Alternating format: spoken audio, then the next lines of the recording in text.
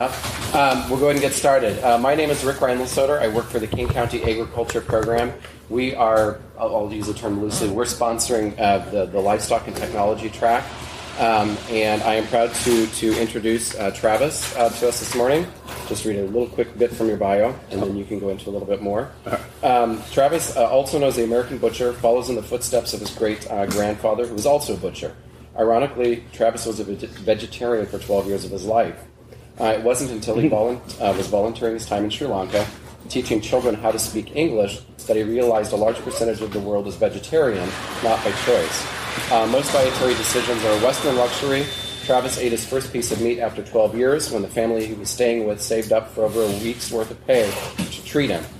And it was wild boar. So, um, Travis, I will turn it over to you. Good cutting enhances the quality of good meat.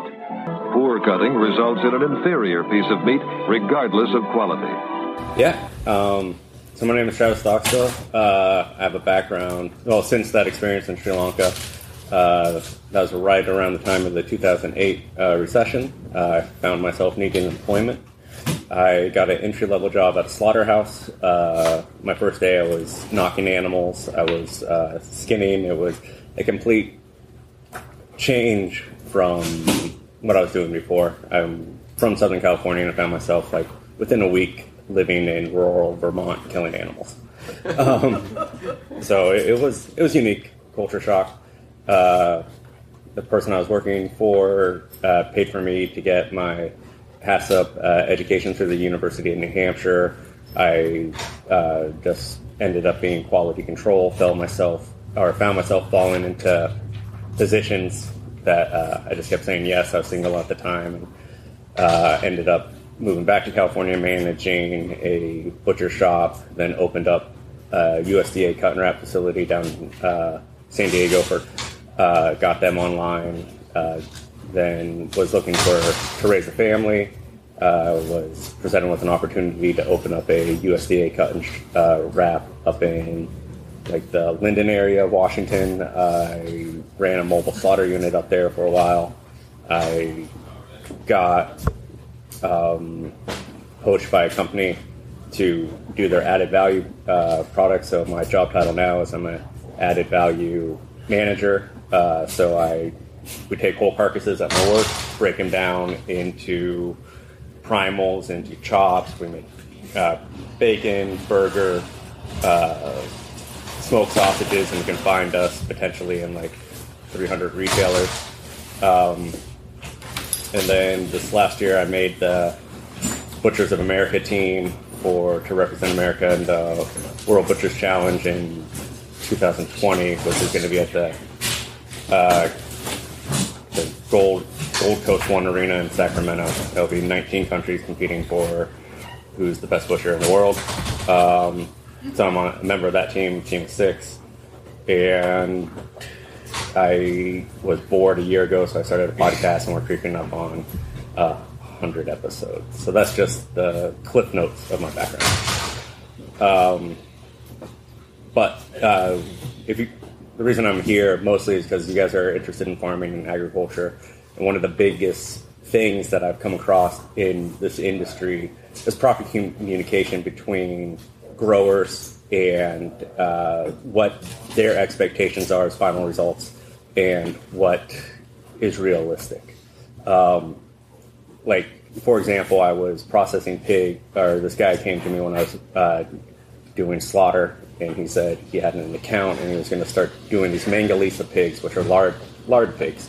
He wanted, had this whole charcuterie program, and he had his business plan figured out before he killed his first pig. He said he wanted everything. Um, through the course of that, I ended up taking pictures of the process because when people say leave their whole fat cap on, I want them to know what that really looks like.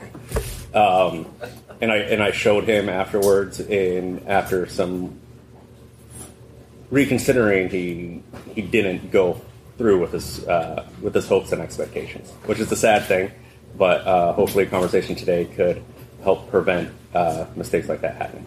Uh, so when I guess my advice when yeah I don't know where anyone is in their adventures in, in farming or anything where you guys are in your path But uh, what I tell new uh, people getting into it is have your market before and and figure out what you're going to do. If you're going to end up just growing a couple of animals for yourself uh, and for friends and family, I would strongly recommend doing custom exempt. And that would mean that it's going to be essentially like a transaction between you and the person cutting your animals. And I think in the state of Washington, you could sell an animal while it's alive up to 16 parts. So if you have a beef and you find 16 buyers for that beef, then there's no reason to essentially get the federal government involved in overseeing the stamping and all that stuff. So that's uh, Bobby's asking just to speak up. Okay. You can. um, Do you want to stand up? no. I, I can see it. We do not. We did not. um, We got plenty more room up front. Yeah. yeah, So so there- That- you sit closer, Yes. you hear better. um, Come on, move forward. yes, There's a whole front row. yeah. we got two seats right here too. Yes. There's one there, one here.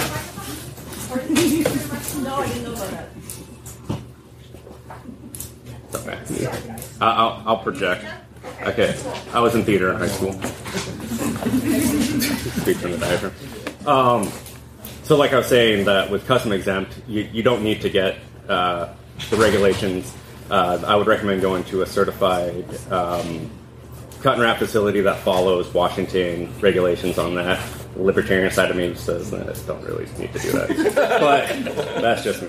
Um, if you plan on reselling it uh, to your product to like a restaurant or at a farmer's market, then you could essentially do just a cut and like a like a health inspected kitchen if you're reselling a single ingredient item.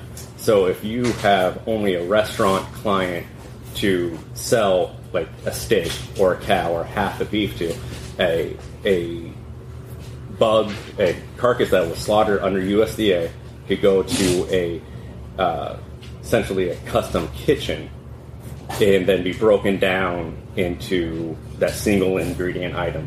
Now, if you want to make sausages, you're allowed to sell that directly to the consumer. And what that would mean is selling it directly to the consumer without USDA regulation on the processing side, is that it would be sold at a farmer's market. That if you were to make like sausages or if you had a CSA or something like that, those are ways to get around, not really get around, just working with the available rules right now. If you wanted to do it for resale purposes, where the person you're selling to is not the final person and it's not direct transaction in a CSA or a farmer's market, then you're going to definitely have to do USDA, which is there's a lack.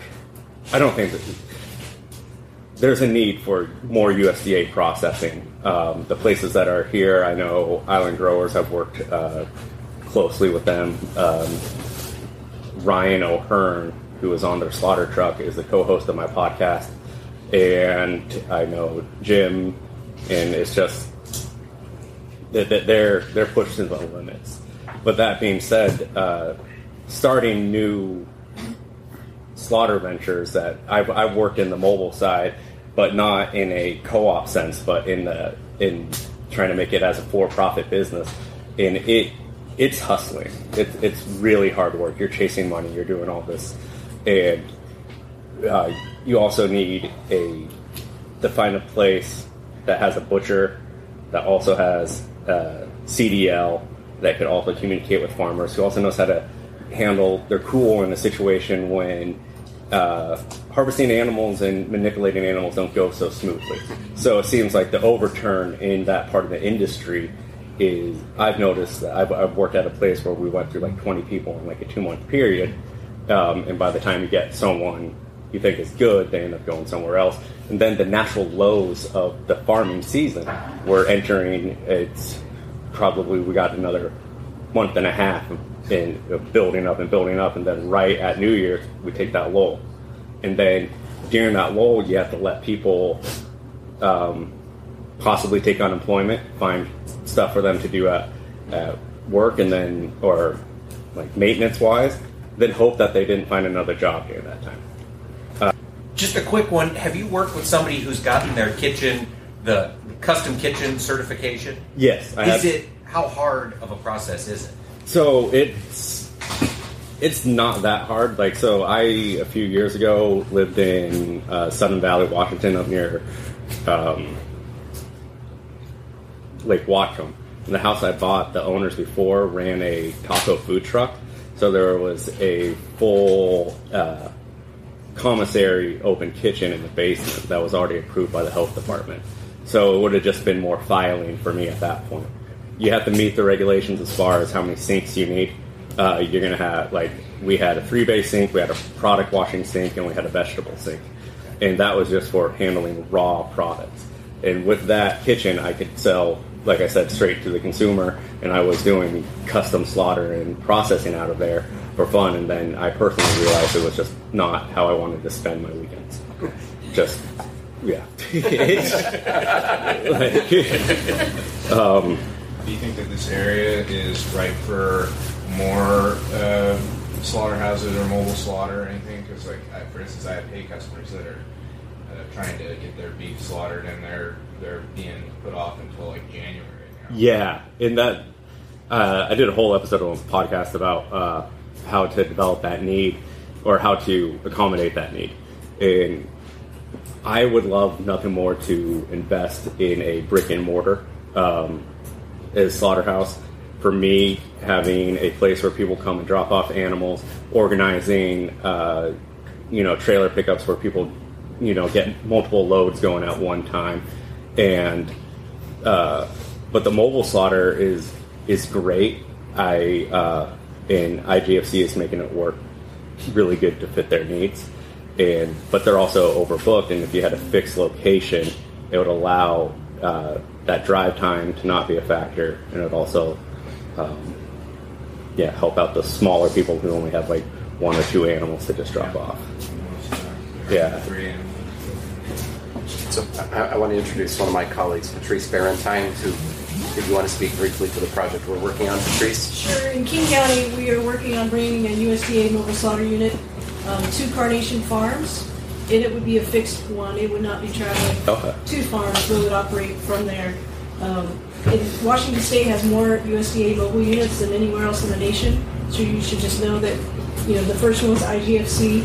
Um, so we've always been cutting edge, but it's hard to work with that. And I'm hearing you say that access for custom for USDA, they're both really low, and we would need, as an industry, to work together to make sure that we've got succession plans for uh, current butchers make sure that we're not losing people. And that's why it's so exciting to have somebody like Travis here to say, "I'm into this. I'm doing a good job, and I'm and I'm creating efficiencies so that it can work long term." Yeah, and like, yeah, the- talking about the efficiencies, I look at every aspect of like processing of how to make this easy, how to make it profitable, how to make it so the communication between the farmer and the, who's going to get the product at the end is happy and it's all streamlined. Um, because working in cut and wrap facilities, I'll someone will drop off an animal and they'll they have an idea of like, okay, this is all in your packet, and they'll just say like, I want something like this, but names change regionally, uh, expectations of fat design change regionally, re- regionally, and then bone in versus uh, boneless is usually like a twenty five percent markup, and then uh, uh, grinding or making sausages, when I get a cut sheet where someone's like, all right, here's one pig and I want five pounds of this, I want five pounds of this, uh, as a sweet Italian, five pounds as a bratwurst. You're dealing with a spice blend that is designed to only uh, be like one bag is 25 pounds. The most industrial grinders hold about uh, two pounds of just waste in their throat that they can't push out. So like you had, you could end up getting that out by reworking and putting old grind back in there. Then you end up with smear, maceration, and all that stuff. Uh, but one of my big things is just having that open communication, and I, in, in giving the realistic expectations when uh, someone says, "I want a cut sheet that." Like for a chuck, I want the Denvers. I want a seven blade. Well, you can't have both. It's the same as like I want um, I want a porterhouse and my tenderloin. Well, you could you can't get your whole tenderloin, but you could get like the Chateaubriand and the sirloin por- portion, and you know working with that with the butchers and uh, like my yeah, it, it, it, it's when people are like, could you break? Uh, here's like five cut sheets for like one half or something like that, and so those are the things that end up taking time and costing costing money and costing money and labor, and so in like streamlining, it's uh, uh, that by just being like, all right, this is what he says he wants, and then we give it exactly, but he ends up selling it to a chef who had a completely different vision. So just knowing the terminology and even having your butcher communicate with the chef or having someone who knows the terminology communicate with the chef. Is there a cheat sheet for that? Because we've been in that situation where you know you want pork belly, but you can't have bacon or you know Yeah. different things, and like it's it's hard to plan your whole butcher if you're you know new in it. Yeah. stuff. Is there? How do you get like in uh, the intel to make the right decisions, or what's the best way to go about doing it if you're you want to be able to talk intelligently about it, but then not take all your butcher's time? Yeah, so bacon and pork belly. You know, uh, you have a pig. I would just divide it in half, and then have two cut sheets, one per half, and that genuinely wouldn't be it. It it should be fine with most. And that's what I did. Yeah. But like, there's lots of other innuendos. Yeah. So, so like, uh, for example, if I were to get like a side of pork and someone wanted bone-in pork chops and boneless pork chops, I would take the the sirloin uh, portion or the short loin portion of the pork, make that into my boneless, make the bone in in the rib section, have a pulled whole tenderloin, turn the sirloin butterfly it, season it, and that would possibly be a porchetta or a small roast unseasoned, or that could be added into trim. Uh, pork is a oh, sorry. No, that's it. So like, everything you're saying, I'm just like going, yum. It's like, how do I know that? I mean, like, Uh, that's awesome. And, and pork is one of those things where it's it's an animal with a beautiful yield where you could end up like breaking down an animal and just end up with a handful of glands of just like unusable stuff. Uh, that being said, it's also very hard to sell beef lard. It's also very hard to sell back fat. So, and uh, you end up throwing all that stuff away, uh, or the cutters do. It's Uh, like trying to get the um, leaf lard out of it. Like, Mhm. you know, when you they're just giving you all the fat, like they didn't Yeah. go harvest just the.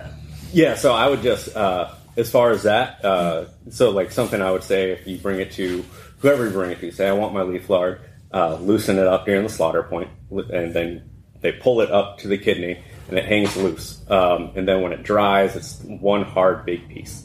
And then they'll they could cut it up with a knife and then package it like that. And it has a very uh, different texture than back fat. Back fat is is is hard. You could cure a solid piece of like back fat as like uh, lardo, and then leaf lard is something that's soft that you could whip and emulsify and make into an added value product, such as like whipped lardo, or you can make those sweet and savory as well. Going back and listening to this while I'm editing it, I realized I didn't really answer her question. She was asking, "Is there a source?" And I'd recommend um, starting with the NAMP guide because the terminology is broad enough that any butcher shop and any chef should be able to access that information, and that's what she was really asking. Um, and then I just went on a self-indulgent tangent. So the NAMP guide, the North American Meats Buyer Guide, and they update that yearly. And for example, like someone says, I want a ribeye, I want this, I want that. You'd be like, oh, what do you want? A 109D, a 109A? Do you want this or that? And then it's just a point of reference where you could say, if you're really frustrated, um, you could just type in the NAMP guide number identification on a cut sheet. So yeah, I have a question about your podcast. Yes. Is- who's your target audience? Is it consumers? Is it farmers? Or is it both? Or is it butchers? I mean, So the and why? I mean, you said why you got into it. How is Yeah. it financed? uh, oh, it's, it's financed by me. Okay. There- there- there- there's no You don't have advertisers. No, no. At least It- not yet. Yeah, I, I think I'm personally sponsored. They sponsor just the American team. Um, but the podcast, I always say, it's a podcast by Bushes for everyone.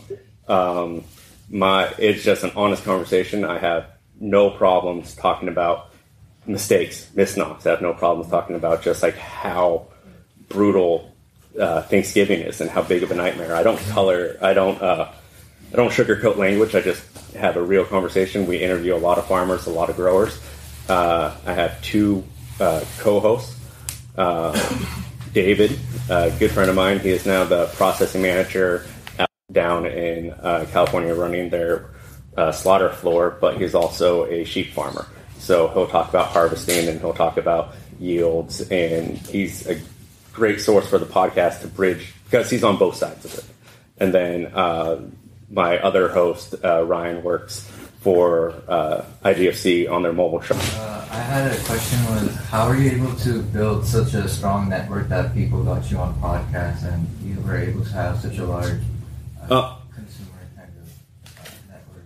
Um, that's a great question. And honestly, when I was uh, working in the slaughterhouse, I just I, I was on Instagram. I started an Instagram uh, called the American Butcher.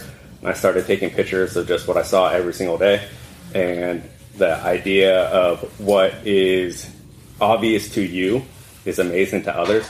Like something I'd see every day. is just like someone skinning out an animal, and people don't see that every day. So I started taking pictures of it. So uh, I just my notes are just single words. I'm trying to decipher them. I wrote uh, yield on there, and I saw that Linda earlier this week posted. I think from Penn State the the yield. Um, a yield study they did with the title that butchers aren't stealing your meat, and, and that, that's the biggest, uh, not the biggest thing, but I know every time I have, uh, I've gotten a call in the past from a farmer who's not looking to, uh, not looking to reschedule because they don't, um, they're not grasping. They they like I brought you an animal that weighed, I brought you a pig because it's just the easiest. I brought you a pig that weighed like 240 pounds. All right, market size hogs usually hang around 200 pounds, depending on cut sheet. If people like, there's a standard fat cap that people leave uh, or the rind, and if you end up cutting, you know, just that basically, and it's not notated that like I want every single thing or leave this much fat cap on there. Genuinely, they're not going to give you that stuff. It's going to end up like when you're cutting, you have a barrel right here. You cut your fat, you put it right in that rendering barrel. It goes to uh, a rendering facility that turns it into uh, cosmetics, dog food pellets, and fertilizer. So it is still being sustainable and still being reused and repurposed. But the end result sometimes is people being unhappy with their yield because they ended up bringing a um, they ended up not specifying that they wanted them wanting their fat cap and not understanding the percentage loss and how much actual lean muscle comes from a hundred or 240 pound pig or 250 pound pig. Yeah, so it's going to be 70% on a skinned out hog. And skinned out hogs usually don't come with the heads on. If you have access uh, to a processor with a scalder, your uh, yield's going to go up. And yeah, things that people have a hard time selling to improve improve your margin and your waste is uh, if you can find an outlet for it is usually heads. Uh, you know, I process 20 hogs for added value product a week, and I sell probably two heads a month. So uh, the rest go into rendering. Uh, we harvest the cheeks, we harvest the head meat, and that goes into emulsified products. So what was the seventy percent from hanging weight to the retail weight, or live weight to the hanging? Uh, live weight to the hanging weight. And then from that, it, it that to get it from your what would be your hot weight, and your hot weight is also going to from the day you slaughter it, from like the next day, it can lose up to ten percent, J- just because of. So when you be like, oh, the hot weight was this, and I wanted every single cut and got this back, uh, you're going to end up with moisture loss because it's put into essentially a blast cooler, and the colder something is, the drier it is. Um, so it, it and if people want a lot of times I hear people wanting whole carcasses aged for about three weeks. This is beef that no one really just worked intentionally. Um, so, uh, so people who want whole beef aged, it's going to be possibly up to a fifteen percent loss from moisture just from um, being in the the cooler that whole time.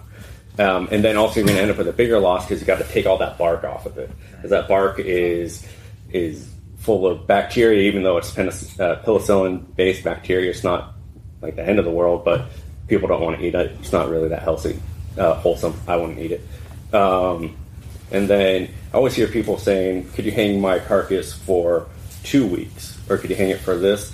Uh, genuinely, 21 days is the point where actually something happens. 21 days is when proteins become denuded. After that, you're not going to get it any more tender. You're changing the flavor profile, just like a cheese. You're bringing out uh, dry aged meat and cheese has the most uh, naturally occurring MSG than like I think any other food group.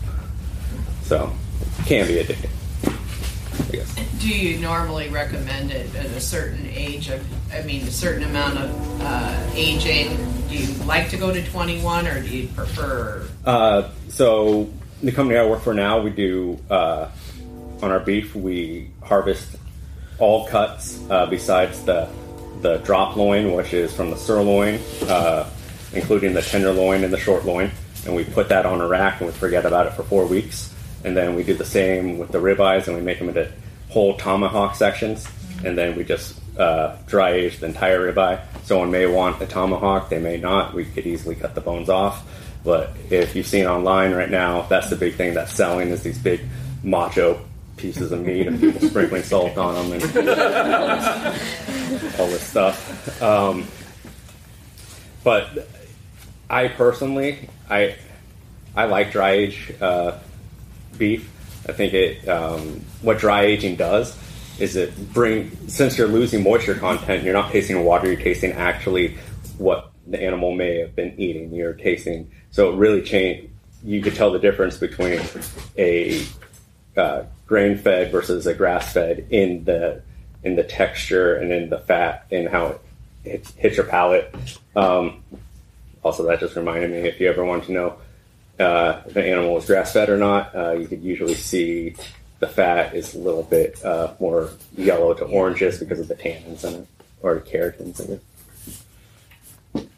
Any other questions?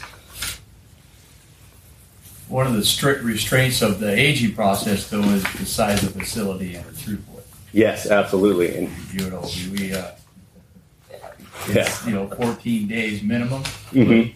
Very rarely can you get to that seventh, you know, the 21 days because of throughput and the necessity of the cooling facilities. yeah, Unless you, unless you potentially pay for it. exactly. Because because it's real estate. It, Yeah. it, it's it You pay extra. Yeah, and that is actually something I'm uh, going. Me and my boss at my work are talking about expanding our cooler because we have the the space to do it, and we're just trying to crunch the numbers to see if it economically makes sense. Essentially, make like how they used to have like old game lockers, where it would just be like you bring a, a USDA product, and we, it just it's an aging cooler. Um, and then also with aging, you want your humidity about like 80% in your cooler and you want airflow. You start seeing stuff that looks fuzzy. You take a little bit of apple cider vinegar, just dab that little fuzzy spot, it'll clear up and you'll get bark right back on it. So, um, Um, I was gonna ask, how difficult is it for you to like meet the needs of your consumers, and how far would you go to do so? um, how difficult it it's it's difficult. Uh, I've had difficulties in the past because I've worked for a lot of like small businesses that are for profit, and when you have that mentality, you may not do things streamlined. You may want to just do it to keep the customer happy and keep them coming back. And now in my career, where where I work, I'm not I'm not chasing that as much. Um, things are, are put into place. So, like we have repeat customers, our products and, and expanding and things like that. Um, but it, it, for any small business, it, it's hard to say no.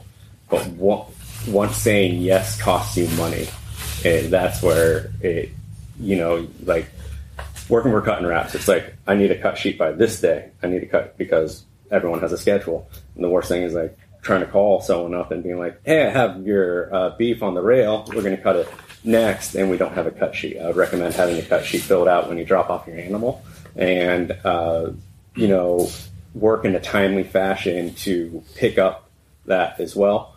Uh, in like accommodations, like saying, uh, "Yes, I'll stay late because some people can't get to certain places until they get off work." But those uh, but those people also need to recognize that those people are also at their work and they can't go home. And you know, so it's just. It, I don't know. I hope that answered the question. yes. Um, this is just kind of question, but like, what are kind of the consequences of like not butchering like properly? Like, if just like bad butchering and like not like a really clean facility.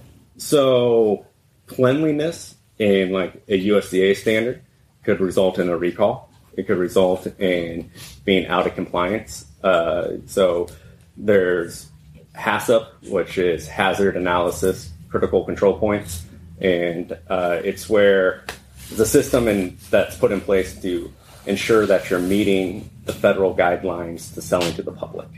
So you have traceabilities on all ends, you have temperature monitoring on all ends. If you're working slaughter, you have zero tolerance on all end. So having, say, something that could damage that is uh, mostly paperwork being filled out incorrectly doesn't necessarily mean the facility is unkempt, but if someone didn't do a pre-shipment review, that could result in a recall. If uh, if there was a allergen cleanup that was missed, that's huge. That that that's a recall, and like if it's a recall where you can't get a lot of product back, it could devastate small businesses. Um, and then as far as like just cleanliness, we uh, facilities do random testing by the USDA where they're swabbing, and then uh, places I work also do um, in-house testing to meet with uh, regulations. Where once a month we'll hold a product, send it to a lab, they'll test for listeria, they'll test for salmonella uh, on cooked products, on stuff that's ready to eat, and then on raw products they'll uh, check for salmonella and E. coli. Um, and we we follow that within the guidelines of the USDA. They don't do it; we do it by their saying. So it, there are big consequences eh, with not butchering properly, besides just making people unhappy with what they get. Uh, you know, for uh, the the darker side is you so not butchering properly could mean that they don't know how to knock. They're not properly trained, and you end up with animals with sensibility when they should be. Re- re- and that is it. It happens. We've all seen those slowing down videos. Sarah McLachlan playing, you know, but like some of it's out of context, but some of it is like the egregious stuff. It, it those people deservingly could go to jail for um, and every NR or non-compliance report filed by the USDA is public information.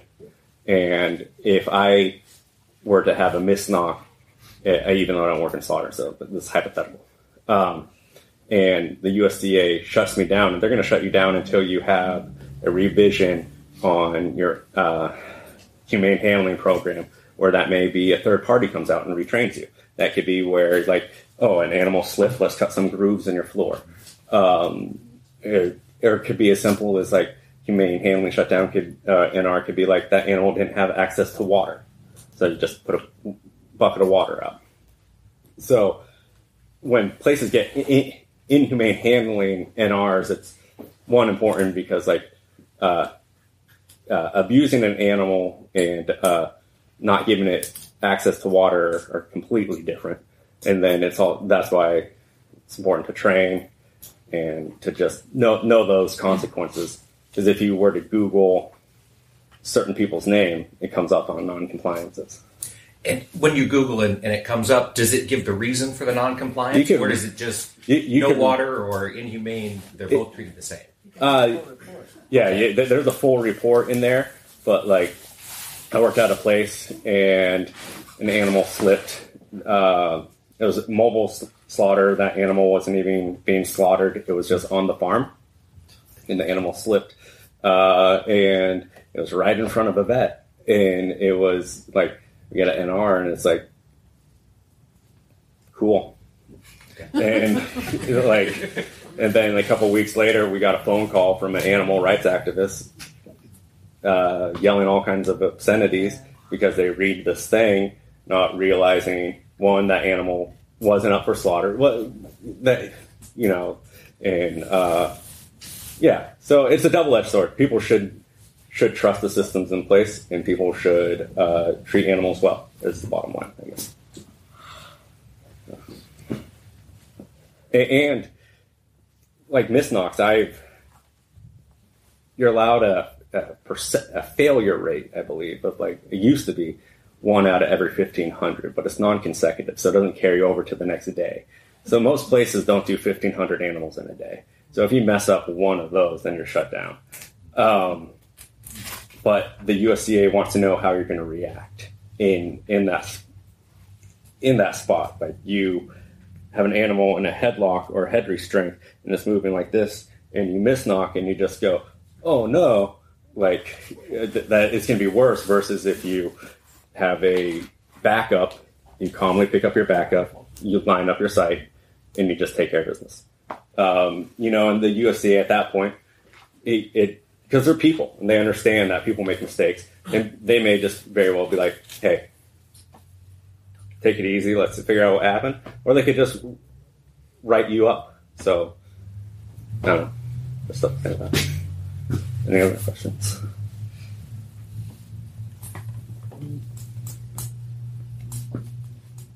No. yeah. What made you like butchering in the first place? Um. Yeah, like it, well, well, I, I always tell people that like I, yeah, I just needed work, so I just showed up and uh, like it was weird machismo. Like my first day, I killed animals, and then like everyone like had these blood vials, and we, they're like, "You got to drink the blood," and like all this, and I was like, "Okay," and I did, and no one else did. so like, uh, um, but it's just it, it was just a job until I uh, realized that I was that I had like an act for it, and that like and then when I realized like I couldn't do anything else if I like if I lost my job I'd be like I wouldn't know what to do. Well, I get another job, but like if all of a sudden it's like butchery just like didn't exist anymore, I I don't know. Um, it, it was a job before it became a career. Once it became a career, it became a passion. And then now I just devote everything I can into promoting the craft and having just a better uh, understanding. And uh, like my whole thing is, I just want to be honest and just like uh, I'm not ashamed of anything I do. Travis, where do you work? Oh, you do. Okay, so Yeah. in Burlington. yeah, Okay, so yeah. um, do you find um, I uh, am a cattle rancher, Okay. and uh, um, and uh, I work with Ryan. Okay. Uh, Oh, yeah. Yeah, it's Skagit River Ranch. Anyway, um, do you find it is really difficult to find um, butcher? Yes. So I mean, I think that's most of the problem. We- We can have the mobile slaughter unit. We have like two or three of them that Yeah. kind of didn't work out, and uh, um, and it's great that Carnation Farm is doing that. Uh, but eventually, it's going to be the people yeah. try to find the butcher that are capable like you. I mean, how do you? Do you have any idea how to develop? Do you have any, any kind of educational program you can think about? Yeah, so with the with the World Butchers Challenge, our goal is to develop like a um, a nation, a, um, a worldwide standard of butchery that will allow for butchers to travel and you know essentially do like a um, like a foreign exchange program where we could have butchers from other countries come and work in small shops here and etc. So we could uh, not lose some of the, the small craft things that are just only regional, I guess. Ryan himself, I knew him through Instagram. He had his uh, Instagram account, Gather and Break, and he used to work in uh, like Michigan, no, Illinois, and um, and I became friends with him online, and he asked me just like after uh, online that he wanted a job. I sent him a list of uh, with IGFC, um, Lynden Meats, uh, I think it was it Cascade Foods at the time, my job, and uh, there may have been a custom shop on there.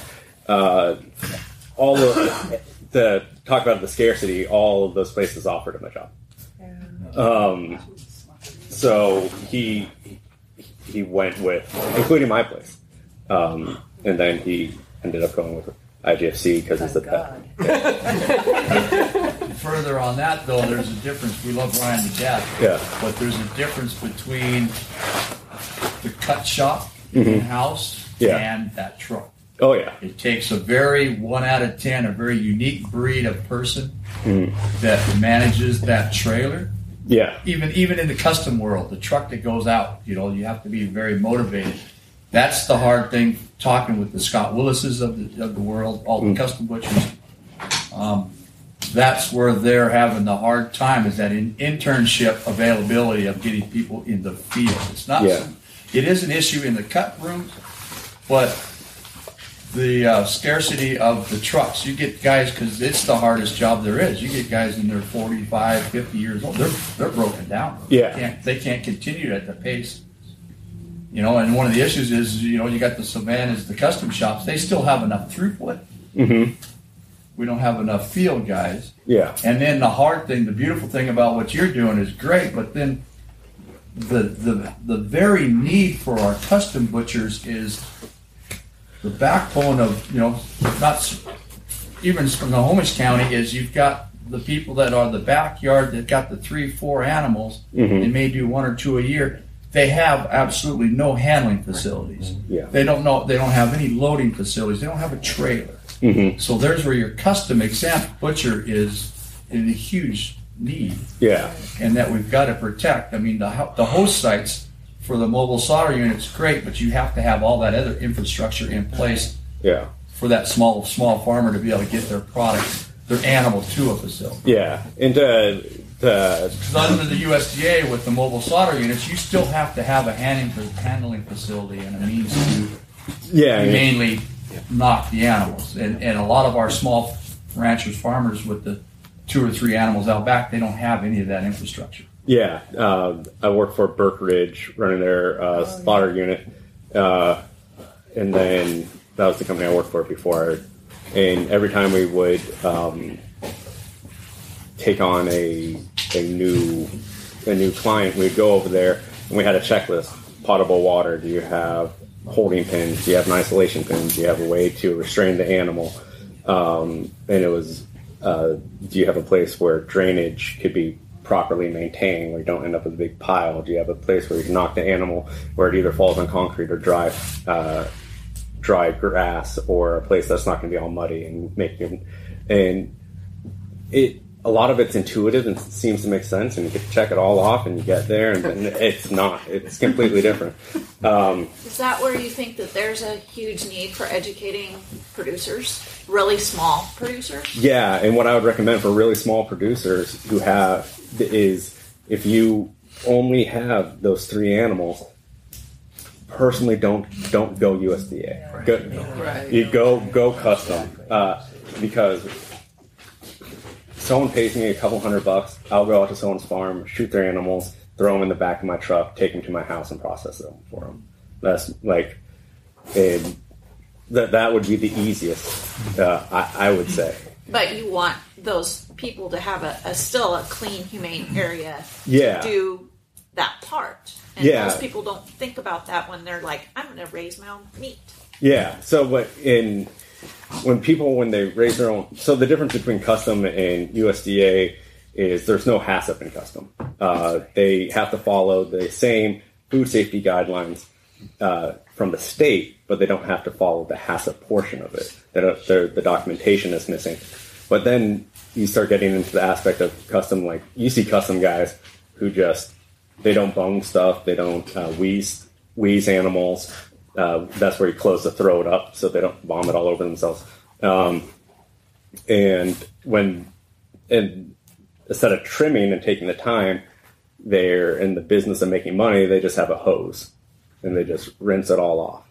Um, and I don't have a, a, solution to correct that because those people are usually old school and set in their ways. uh, um, I know when I do custom, I prefer to have a, a clean area, but I also don't do custom anymore because I found it more difficult. And slaughter is truly a, I've always said it, slaughter is a young person's game. Uh, when I worked slaughter, I was in my early 20s and we were processing like 45 head of beef a day and uh, 120 lambs and like like 180 pigs, like on those certain days. And then like uh, we also did 1,500 chickens, with sucks. Uh, but uh, but like I think it took me at that pace, it took me less than a month to get carpal tunnel. Um, and now I have tendonitis and a slew of other problems. So it's just it it is it it's it's hard work. You're lifting, you have repetitive motions, and you have overwork injuries, and you have a lot of people who are dealing with the aspect of being outside and in uh, in, in the outside in Washington, which is genuinely sometimes not that nice. So uh, if you are doing those couple animals, just make it the most comfortable that you can. Uh, I've, I've slaughtered where I've just been like, do you have a driveway? And I could just hose your driveway down at, at the end of it. Or uh, have your animals closest to access to the vehicle so people aren't dragging them across an entire field. Or like, I uh, did a job where a guy's like, all right, my sheep are right here, and it's in like a 15 by 15 pen, and I'm like, they didn't want to be near me. I- So, and taking long shots isn't that fun. So, um, kind of back to the USDA versus custom thing. Um, Mhm.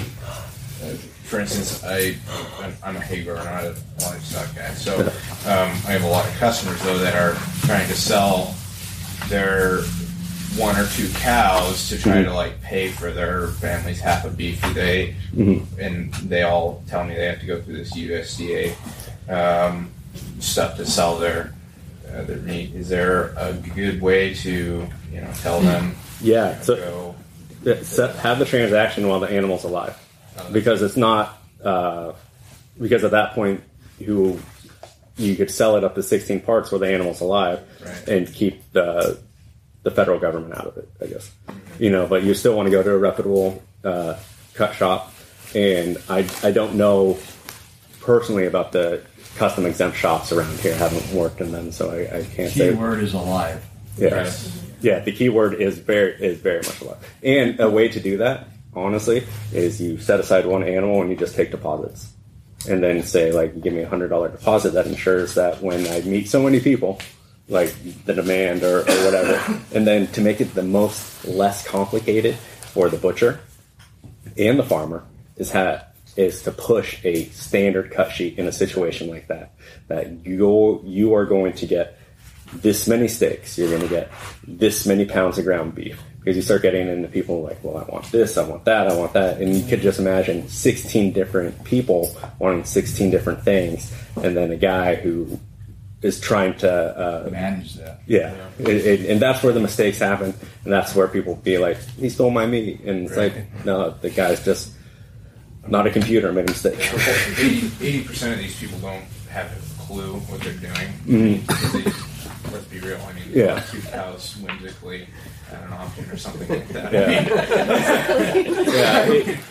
So, you know, the, they um, is there a good online source that I can like direct them? Like, here, go here, because this will tell you exactly what you need to do. You know, it sounds like there's a podcast. Yeah. Yeah. Well, my, my podcast. Yeah. And then uh, there's Also easy just to call the Department of Agriculture because they license all the custom slaughter places and they can walk the folks through. Yeah. It could be thirty. It could be divided into thirty-two sections. In, Oh, okay. In Washington, Awesome. so which would be crazy. Yeah. it's easy enough. Yeah. So just have them call the department and Yeah. and that's an easy walkthrough for I them. find it being, running into it more and more. It's like you know, you get these people that just show up off the street. and just- Cole, you could actually also send them to their county, you know, cattlemen's group. Right. you Yeah, know. cattlemen's. I've sent some to cattlemen's. Yeah. Oh. Oh.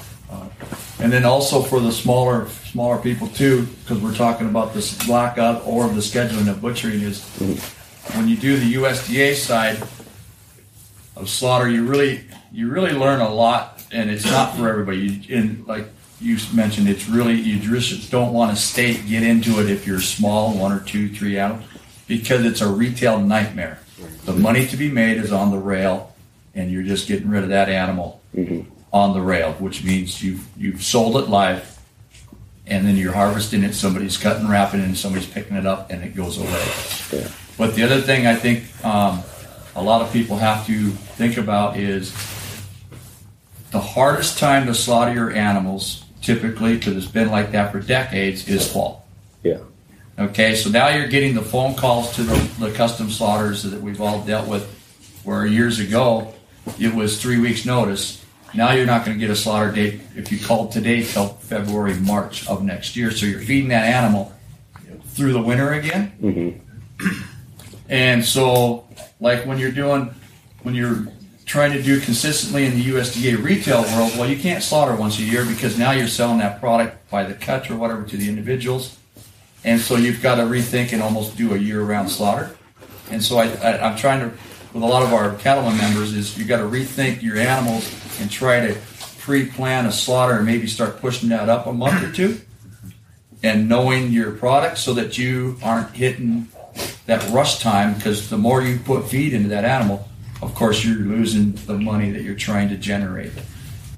And that was my focus on farming uh, breakout session that I held. Um, it was great. It was a great conversation that was taught at the end. My digital recorder actually stopped recording at that moment, and uh, which is unfortunate because I ended up talking and people ended up talking for about another uh, 30 minutes, and it was awesome. Hopefully, I get to do it again next year. And I just want to say big thanks to Linda Knudsen uh, for coordinating it and everyone involved in that room. Uh, you know, I'm terrible with numbers, uh, with how many people were in there. So I would like to just, to umbrella, uh, thank the 1500 people there, um, who were in that session. Yeah, it, it, I know it's very popular. And if you enjoyed that and you would like me to come to an event and ramble, or me to come and possibly break down an animal at an event and talk about meat related things, or just talk about, like, I don't know, fishing or hardcore bands from the mid 90s, I could ramble about many other topics. Milo, I could talk about Milo for a while. He's white with some mocha running through him, with some random darker hairs and some dark patterning on his face. I could talk about other labradoodles. Talk about fishing. Man, I love fishing. Wish I wish I was uh, good at it. Um, hit me up at American Butcher on Instagram, or you can email me, meatblockpodcast at gmail.com. Uh, and yeah, I hope you enjoyed this episode. It was fun. I had a great time at that event. Um, and I hope I get get to do it again next year. And if you're looking for a way to support the show, honestly, the best way to do that is open up the podcast app of your choosing, rate and review us, and please, please leave a comment. I love reading the comments. If you have a uh, a question for an upcoming Q and A, how about you leave it in the comment sections? That'd be pretty cool. Also, check out the GoFundMe for Butchers of America team.